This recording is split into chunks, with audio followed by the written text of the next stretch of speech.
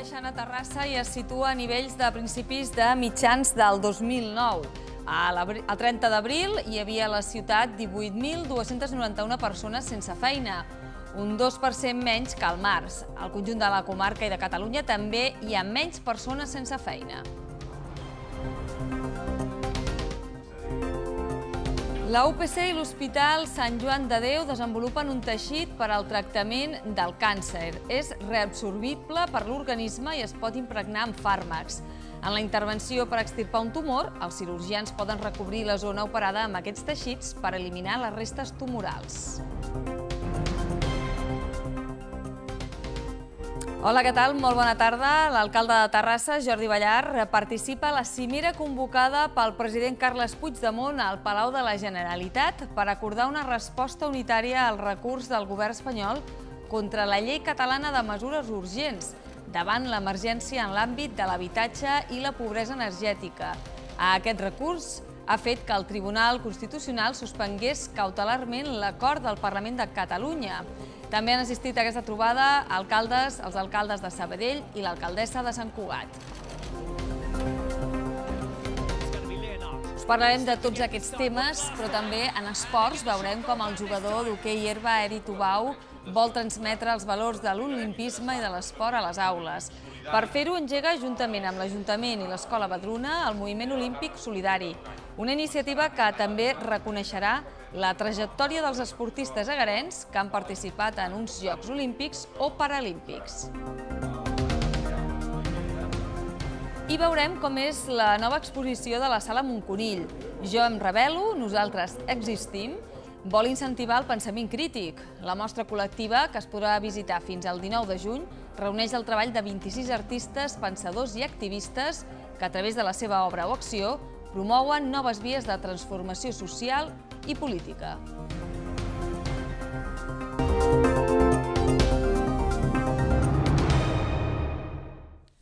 L'atur continua baixant a Terrassa, també ho ha fet a Catalunya, a la comarca i a tot l'estat espanyol. Se situa a la nostra ciutat a nivells de principis de mitjans del 2009. A 30 d'abril hi havia a la ciutat 18.291 persones sense feina, un 2% menys que al març. Al conjunt de la comarca, com deien, també hi ha menys aturats. L'atur continua baixant i es situa a nivells de mitjans del 2009. A 30 d'abril hi havia a la ciutat 18.291 persones sense feina, un 2% menys que al març. En tot l'any, la desocupació ha disminuït en 2.311 persones, un 11,2%. La taxa d'atur a Terrassa és del 17,5%. Al conjunt de la comarca també hi ha menys persones sense feina. Aquest col·lectiu ara suma 63.686 persones, 1.680 menys que el mes passat, que suposen una baixada del 2,6%. En els darrers 12 mesos, L'atur comarcal ha baixat en 8.801 persones, un 12,1%. La taxa d'atur al Vallès Occidental és del 15%. L'ocupació ha millorat en tots els municipis de la comarca, menys a Badia i Rellinàs, els únics que superen el 20% de taxa d'atur, amb increments que ronden l'1%. Mata de Pere i Sant Cugat continuen amb taxes per sota del 10%. A Catalunya l'atur s'ha reduït en 13.868 persones a l'abril, un 2,8%. Avui hi ha 486.000 catalans i catalanes sense feina. Continuem dins l'àmbit laboral perquè el 78,3% de la plantilla de Delphi ha donat suport al preacord al qual van arribar la setmana passada la direcció i el comitè d'empresa per ratificar l'expedient de regulació d'ocupació. Van ser 365 vots a favor, 80 vots en contra, 19 vots en blanc i dos nuls. La participació va ser del 86,3%. Tant Comissions Obreres com la UGT valoren positivament el suport de la plantilla a l'acord, que garanteix les indemnitzacions i condicions laborals ja consolidades. D'aquesta manera, diuen, no s'entra en una confrontació amb l'empresa que podria acomiadar treballadors amb les indemnitzacions mínimes que recull la legislació vigent. Els sindicats asseguren que continuaran treballant per aconseguir un pla de reindustrialització de la planta de Delphi a Sant Cugat. També fan una crida a l'Ajuntament de Sant Cugat i a la Generalitat perquè treballin per mantenir el màxim nombre de llocs de treball. Un nou teixit format per nanopartícules podria convertir-se en un novedós tractament contra el càncer de forma localitzada i sense efectes secundaris. L'han desenvolupat investigadors de la UPC al campus de Terrassa i de l'Hospital Sant Joan de Déu. De moment s'ha provat amb animals i en un any ho faran en humans. Per ampliar les aplicacions a nens, demanen finançament perquè les grans empreses de moment només els interessa finançar-ho per adults. Investigadors de l'Hospital Sant Joan de Déu i de la Universitat Politècnica de Catalunya al campus de Terrassa, a través de l'spin-off Cebiotex, han desenvolupat un teixit de nanofibres per al tractament local del càncer. Té caràcter biodegradable, és reabsorbible per l'organisme i es pot impregnar amb fàrmacs. D'aquesta manera, durant una intervenció per extirpar un tumor, els cirurgians poden recobrir la zona operada amb aquests teixits per eliminar les restes tumorals que puguin haver quedat. Nosaltres estem proposant una, una solució que és molt, molt fàcil d'aplicar i que, a més a més, és extremadament efectiva, perquè apliquem un fàrmac molt potent en el lloc on ha de, on ha de fer l'efecte. A més a més, aquest fàrmac arriba en quantitats minúscules a, a la sang, la qual cosa vol dir que no té efectes secundaris sistèmics, és a dir, no tenim el fàrmac per tota la sang com passa amb la quimioteràpia. Per tant, eh, en quant a aplicació, tots són avantatges, és un producte molt novedós. Els investigadors han provat l'eficàcia i no toxicitat d'aquest nou sistema en animals i han iniciat els tràmits per obtenir l'autorització de l'Agència Europea del Medicament. Això els ha de permetre iniciar les fases preclíniques i clíniques del seu primer fàrmac orientat al tractament dels sarcomes de teixits tous. Això ens permetrà fer la primera prova en humans aproximadament en un any i mig i aleshores hi ha un, un procediment que és el que es diu la fase 1 i 2 clíniques que poden durar aproximadament 3-4 anys. Eh, aquí sí que es provarà de manera continuada en, en humans i el producte hauria d'arribar al mercat aproximadament en uns 5 anys, 6 anys. Aquest serà el primer producte, però en el futur volen desenvolupar nous biomaterials per al tractament d'altres tumors, tant en adults com en nens i també com antibiòtics. Per aquest motiu, Cebiotex ha iniciat una segona ronda de finançament a través de la plataforma europea de crowdfunding en biotecnologia Capital Cell. Treballem bàsicament en crowdfunding perquè eh, d'una altra manera és complicat assegurar que aquest producte pot arribar a, pediatria als nens. Eh, està pràcticament assegurat el camí als adults, perquè és el camí natural en aquest tipus de desenvolupament, però arribar als nens no és tan fàcil per un tema de volum de mercat, simplement. Diferents professionals de la Politècnica han desenvolupat la tecnologia per crear aquest teixit de nanofibres mitjançant una maquinària específica. Es basa en la filatura electroestàtica, coneguda a nivell acadèmic i aplicada en molts àmbits, però fins ara no hi ha cap equip que hagi arribat al nivell assolit ara per la UPC per fer progressar el projecte. L'alcalde de Terrassa, Jordi Ballar, ha participat aquest dimarts a la cimera convocada pel president Carles Puigdemont al Palau de la Generalitat per acordar una resposta unitària al recurs del govern espanyol contra la llei catalana de mesures urgents davant l'emergència en l'àmbit de l'habitatge i la pobresa energètica. Aquest recurs ha fet que el Tribunal Constitucional suspengués cautelarment l'acord del Parlament, també han assistit a la trobada representants dels sis grups al Parlament, dels sindicats majoritaris, de la plataforma d'afectats per la hipoteca, de l'Aliança contra la Pobresa Energètica i de la taula del tercer sector, així com alguns consellers del govern. Altres participants a la cimera han estat els alcaldes de Sabadell, Juli Fernández, i de Sant Cugat, Mercè Conesa, i també els presidents de l'Associació Catalana de Municipis i de la Federació Catalana de Municipis.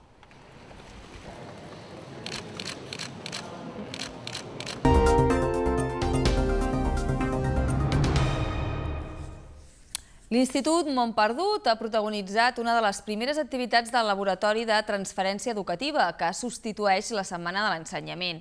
Una desena de professors de la ciutat han visitat l'escola per conèixer com treballa per projectes. A moltes escoles de primària ja es treballa així, especialment en l'etapa infantil, però a la secundària pocs centres s'atreveixen a seguir innovant, sense llibres ni assignatures. L'educació per assignatures és un model obsolet. El futur és treballar per projectes. És el que diu la teoria, però a l'Institut Montperdut ja és una realitat. Per això, una desena de mestres han visitat aquest dimecres al centre. És un dels actes del primer laboratori de transferència educativa, l'activitat que substitueix la Setmana de l'Ensenyament. L'alumne no obre un llibre i contesta unes preguntes. L'alumne parteix d'un problema, d'una situació, d'una tasca que li encomanen, el màxim de, de real possible i dins d'aquest context real eh, ha de dissenyar unes activitats d'aprenentatge i tancar aquesta, aquesta tasca donant resposta a aquest problema que se li ha plantejat. Per exemple, dins del taller Canvia el teu món, els alumnes han detectat que el problema més greu del barri és la pobresa. I ara estan dissenyant una sèrie d'accions eh, per poder donar suport a les famílies que tenen més necessitats econòmiques. Parteixen d'un problema desenvolupen les activitats i conclouen la tasca. L'alumne treballa en equip de forma cooperativa i així, diuen, es fomenta la cohesió del grup. Creiem que si som capaços de cohesionar un grup d'alumnes, també serem capaços de cohesionar un nivell, un centre, un barri i que a la llarga la nostra societat ens ho agrairà perquè serà una societat sense fissures. Quan un alumne acaba l'ESO és una persona eh, autònoma amb, auto, amb una autoestima alta i quan una persona és autònoma i té una autoestima alta i creu en ella mateixa serà capaç de sortir-se'n de qualsevol situació que se li plantegi. Digue-li batxillerat, digue-li cicles, digue-li pau. L'Institut Montperdut és un dels 26 centres de tot Catalunya que formen part del projecte Escola Nova del segle XXI, és a dir, que porten a terme pràctiques educatives innovadores i avançades al seu temps. En els propers anys la iniciativa s'estendrà a 20 centres més i rebran assessorament uns altres 170. L'objectiu és que finalment es produeixi un canvi sistèmic en el model d'aprenentatge a tot el territori català. Arriba a Terrassa l'exposició itinerant Jo em revelo, nosaltres existim, una mostra on 26 artistes i activistes reivindiquen la transformació social a través de les seves obres i reflexions. Una exposició col·lectiva que es podrà visitar fins al 19 de juny i que ens ensenya, entre altres coses, com els obrers terrassens de la CNT van col·lectivitzar el vapor galí durant la Guerra Civil. En Joan Ullés té 96 anys i en tenia 16 quan va esclatar la Guerra Civil Espanyola. Llavors era el treballador més jove del taller confederal que va sorgir a Terrassa aquell juliol del 36, al vapor galí del carrer Cervantes. La seva experiència forma part de l'exposició que s'ha inaugurat aquest dimarts a la Sala Montconill. Amb el títol Jo em revelo, nosaltres existim, aquesta exhibició itinerant tracta d'incentivar el pensament crític a través d'una mostra col·lectiva impulsada per l'escriptor Martí Sales i pel director de la Fundació Palau, Pere Almeda. El que es pretén no és fer una simple exposició, sinó és una presa de compromís Eh, que no pretén ser neutre, sinó dir aquesta és la nostra veritat, nosaltres estem per construir d'una altra manera el món, per transformar aquesta realitat i, per tant, per fer-ho viable. L'exposició està formada per treballs de 26 artistes, pensadors i activistes, així com col·lectius i organitzacions que a través de la seva obra o acció promouen noves maneres de transformació social o política. Entre aquestes obres, l'única ambició retrospectiva és la que fa referència a les col·lectivitzacions industrials a Catalunya durant la Guerra Civil. L'espai dedicat a la Revolució Silenciada documenta la forma d'organització dels anarcosindicalistes per combatre l'alçament del règim i és aquí on el testimoni de Joan Ullés pren protagonisme. En el taller que els obrers de la CNT van col·lectivitzar a Terrassa s'hi va acabar fabricant la pistola Escasso, l'arma de foc més utilitzada entre els combatents del bàndol roig. Es van posar d'acord i cada delegat que, que tenia la seva secció a càrrec es va fer càrrec de, de fer una o dues de les peces que hi havia. I jo, en el Tor Revolver, me'n recordo que en Cabat vaig arribar a fer 20.000 visos per les catxes de les primeres 5.000 pistoles que es van fer. La classe obrera, el proletariat, eh, es va fer mans dels mitjans de producció i va fer que el país i l'economia anés endavant moltes empreses van anar molt bé, hi va haver la reconversió cap a la indústria de guerra, es van introduir moltíssimes millores socials, Noam Chomsky, un dels pensadors i filòsofs de referència, ha dit que segurament la revolució catalana és la verdadera revolució social del segle XX. Un altre nom il·lustre que ha participat en aquesta exposició és el de l'artista terrassenca Eulàlia Grau, pionera en el camp conceptual a nivell estatal.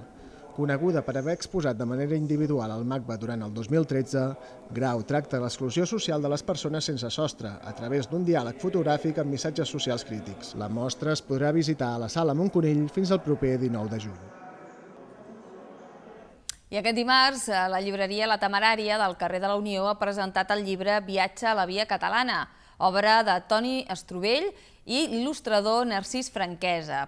El llibre de l'editorial Pagès Editors té l'objectiu d'explicar el procés sobiranista als joves. Dos gossos, la Laia i Gori, volen trobar el seu amo, en l'únic lloc on pot haver anat, la via catalana.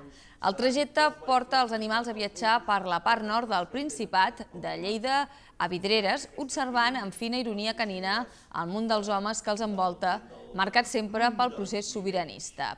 Així comença aquest llibre, Viatge a la Via Catalana.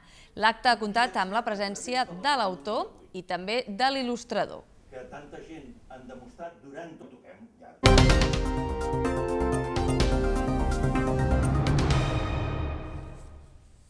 Comencem els esports amb waterpolo masculí. El Club Natació Terrassa ha derrotat el Club Natació Mataró i suma el primer punt de l'eliminatòria.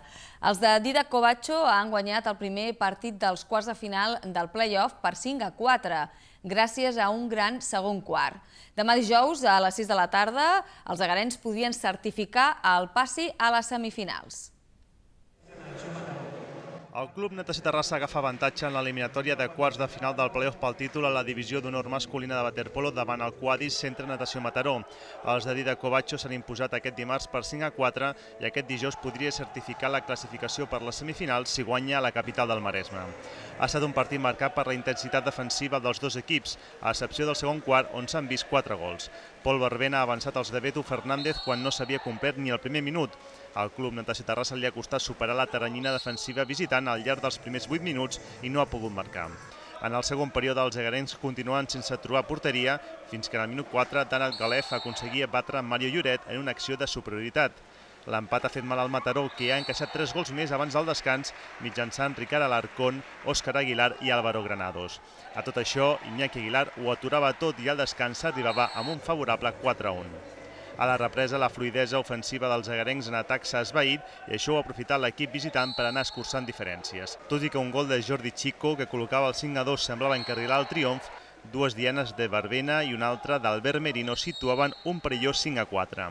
El Mataró ha disposat d'una penúltima posició dins el darrer minut per buscar l'empat, però no ha arribat ni a llançar a porteria davant la bona defensa local. Bueno, ha sigut un partit, un partit molt dur, ja sabíem eh, contra quin rival jugàvem, és un rival que ens coneixem molt, que sobretot el coneixen tant doncs, les coses ofensives que tenim cada equip, pues, clar, això ens obliga a que haguem de treballar sobretot molt en defensa, no? i així s'ha vist, no? és un, un, un partit que ha sigut un marcador molt curt, on sobretot ells al principi són molt, molt, molt forts, tenen molta intensitat, tenen les coses molt clares, com jugar. Nosaltres hem sapigut parar. Tenen tot el mèrit, però sí que era un partit de pocs gols i mentre a nosaltres ens faltava, ens, ens, ens, ha, ens ha costat molt uh, marcar, igual que amb ells al principi, ells s'han trobat amb aquesta segona part, que, bueno, que, que han, tingut, han tingut més encert que nosaltres. Però a més un partit dur, disputat, bé, bé, bé, no res a dir, ara dijous els esperarem a casa. Aquest dijous a les 6 de la tarda, primer match ball pel Club Natació Terrassa. Si hi hagués un tercer partit, es disputaria dissabte també a l'àrea olímpica. El jugador d'hoquei herba Edi Tubau engega, juntament amb l'Ajuntament i l'Escola Badruna, el Moviment Olímpic Solidari, una iniciativa que vol fer arribar als escolars els valors olímpics i reconèixer la trajectòria dels esportistes terrassens que han participat en aquests Jocs o també en els Paralímpics. El projecte es coordina des del cicle formatiu d'esports de l'Escola Joaquima de Badruna, centre on Tubau treballa. Edi Tubau ha participat en quatre Jocs Olímpics. Als seus 35 anys, l'Agarem penjarà l'estic quan acabi la temporada, després d'anunciar la seva retirada tant del Club Agara com de la selecció espanyola. Ara vol transmetre els valors que l'hoquei li ha aportat a través del Moviment Olímpic Solidari, projecte que coordina des del cicle formatiu d'esports de l'Escola Joaquim Abadruna, centre on hi treballa. El Moviment Olímpic Solidari, que compta amb la col·laboració de l'Ajuntament, vol reconèixer la trajectòria de tots aquells esportistes agarencs que han participat en uns Jocs Olímpics o Paralímpics. Fins a Londres 2012, un total de 109. L'homenatge passa per nomenar-los ambaixadors d'aquest projecte perquè transmetin els valors de l'olimpisme als alumnes de l'escola a través de xerrades i ponències. L'esport dona molts valors, no? però um, quan estàs competint a el que es diu esport d'èlit, no?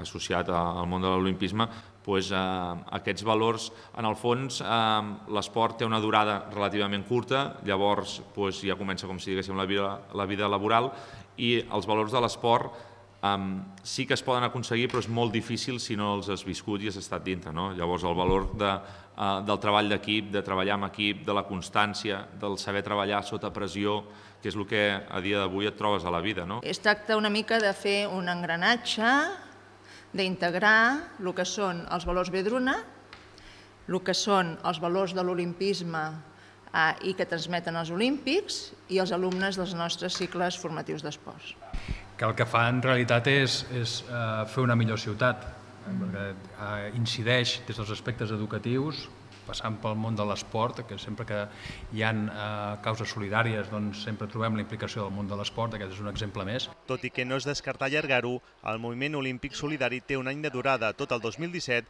coincidint amb el 25è aniversari de Terrassa com a subseu olímpica dels Jocs de Barcelona 92. Tot i això, s'ha organitzat un acte de benvinguda pel proper 10 de juny. Es tracta d'un sopar a la Masia La Tartana de Mata de Pere. Està obert a tothom i tots els diners que es recullin aniran destinats a la iniciativa MOA Solidaris per a l'Ucem Infantil. En bàsquet femení, la Joventut Esportiva Terrassa s'enfrontarà a l'Almeda a la final a 4 de la Copa Catalunya. El conjunt agarenc va derrotar el Pasarela Mataró en el darrer partit i finalitza tercer a la fase d'ascens. Jugarà la primera semifinal dissabte a les 5 de la tarda. El bàsquet Almeda serà el rival de la Joventut Esportiva Terrassa a la final a 4 de la Copa Catalunya Femenina que es disputarà el proper cap de setmana al pavelló La Farga de Banyoles. El conjunt de Jordi Justribó, que ja hi estava classificat, ha acabat finalment en tercera posició a la fase d'ascens després de derrotar diumenge a domicili al Passadella Mataró per 58 a 62 en el darrer partit. Tot i no jugar-se res, les del Maresme van sortir clarament a per la victòria la seva major clarividència en atac i la defensa en zona que van plantejar les agarenques van permetre dominar el partit durant els tres primers quarts. Van ser en els últims 10 minuts quan la Jet va exhibir la seva millor versió i a base de triples va capgirar el marcador final. S'ha sigut un partit molt, molt difícil, com ja preveiem que, que seria. El fet de que Mataró ens defensés amb zona gairebé tot el partit pues, ens ho ha complicat molt però la veritat que estic molt content per la reacció que han tingut les meves jugadores, sobretot a l'últim quart. La Jet jugarà la primera semifinal dissabte a les 5 de la tarda. A les 7 s'enfrontaran el Joventut Les Corts, el líder de la fase d'ascens amb el Cerdanyola. Els guanyadors de les dues eliminatòries disputaran la final pel títol de Lliga diumenge a dos quarts d'una del migdia i s'hauran classificat per la fase final del Campionat d'Espanya de Primera Divisió, competició que dona accés a la Lliga Femenina 2. Els perdedors de les semifinals jugaran pel tercer i quart lloc. En bàsquet masculí, el Club Natació Terrassa guanyava el castellà i es jugarà el descens directe a l'última jornada. El conjunt agarenc es va imposar per 84-76 i evitarà els dos últims llocs, que els condemnen als descens a primera, si guanya. A la pista del Mataró o perd també el Cedis i el Minguella, els seus rivals directes. Guanyar a Mataró el proper diumenge o esperar que perdin Cedis i Minguella. Són les caramboles que necessita l'equip masculí del Club Natació Terrassa per evitar les places de descens directe a la primera catalana i així jugar al play-out per a la permanència. El conjunt de Jordi Sociats va sumar la sisena victòria de la temporada en derrotar el Club Bàsquet Castellà per 84 a 76 a la penúltima jornada de la fase regular. El triomf dona oxigen als agarencs i més amb les derrotes dels dos equips amb qui estava empatat a la classificació. No va ser un partit gens fàcil i el castellà va competir fins al final, tot i que ja fa setmanes que sap que ha de jugar la promoció de descens, tant si guanyava com si perdia aquest partit. Els agarencs van ser superiors, gràcies, sobretot, al seu encert en el tir exterior. Semblava que la victòria ja era un fet, però els visitants van col·locar-se a només un punt a l'inici de l'últim període. Va ser llavors quan els triples de Sant Andreu i les accions de Retrés i Fitó van acabar sentenciant en els darrers minuts. Un triomf a la pista del segon, el Mataró, permetria al Club Natació Terrassa evitar els dos últims llocs, que condemnen el descens de categoria. La derrota només li valdria si perden també Cetis i Minguella, ja que els agarencs tenen el bàsquet a veraix perdut amb aquests dos equips. Qualsevol empat els perjudicaria. El Pitch Prodis Empat ha tornat a recaptar fons per a persones amb discapacitat psíquica. En aquesta ocasió, la competició de golf ha comptat amb la participació de 117 jugadors i jugadores i s'ha disputat en modalitat individual Stable 4. El preu de la inscripció, a moda de donatiu, ha estat de 23 euros. Les instal·lacions del Vallès Golf han acollit durant tot el cap de setmana la novena edició del campionat benèfic organitzat per Prodis. L'objectiu del Pitch Prodis Empat parteix d'una banda amb l'objectiu de difondre i sensibilitzar sobre els drets de les persones amb discapacitat, així com les seves necessitats. De l'altra, recaptar fons que es destinaran a les persones assistides per la Fundació. Un total de 117 jugadors han participat en aquesta nova edició. La recaptació del torneig s'incorpora als pressupostos de Prodis per seguir realitzant les activitats del dia amb els usuaris. En aquesta ocasió, la competició s'ha disputat en modalitat individual Stableford. El preu de la inscripció, a moda de donatiu, és de 23 euros. El guanyador Scratch va ser Gonzalo García, de la Calle Monegal. En la categoria Handicap inferior masculí, el guanyador va ser David Camproví. En categoria Handicap superior va guanyar Luis Carles. Pel que fa a la categoria femenina, en hàndicap inferior la guanyadora va ser Alicia Noguer. En hàndicap superior, Júlia Domínguez Ramos va ser la vencedora.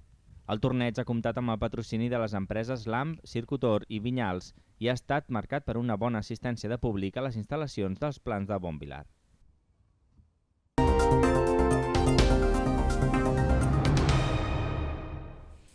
El Cinema Catalunya ha obert aquest dimarts el cicle de cinema europeu amb la projecció de la pel·lícula Mustang, dirigida per Denis Gamze.